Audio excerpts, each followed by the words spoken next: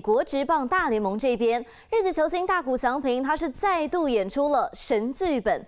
道奇今天他们在主场对上光芒，打到了九局下半，双方还是平手。但是 Otani 桑登场之后，敲出了一发再见满贯全垒打，不但是帮助球队赢球，他还成为史上最快速达成四十轰四十盗的球员。First pitch. Fly ball right center field. Series going back. He's at the track. He's at the.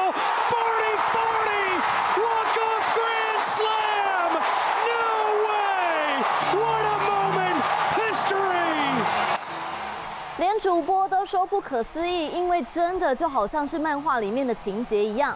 大谷翔平用一支再见满贯炮拿下了比赛胜利，同时也写下了历史。他成为了大联盟史上第六位单季达成四十轰四十盗的球员。可以看到，欧塔尼桑绕回本垒之后，享受队友们泼水庆祝。赛后，他也说这是他最美好的回忆。我是郑雅芳。想要抢先掌握最及时的新闻资讯吗？赶快订阅、按赞、开启小铃铛，锁定华视新闻 YouTube 频道。